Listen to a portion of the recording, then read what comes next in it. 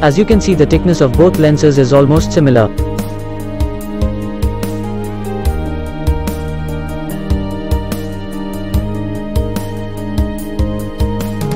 Crizal Prevencia lenses shows this famous light violet tint on the other hand the Lenskart blue lens shows the common green reflection.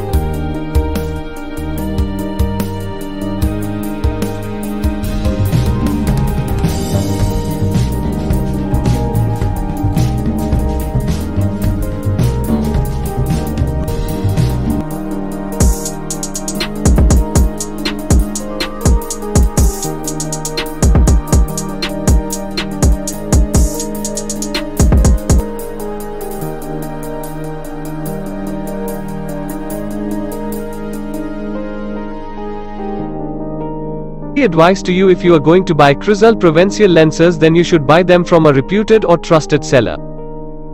Because due to the absence of Crizal logo these sellers are cheating their customers by selling them fake product.